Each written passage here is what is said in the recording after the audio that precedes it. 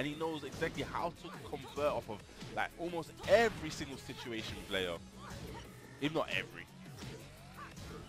But just being able to, you know, adapt to most of those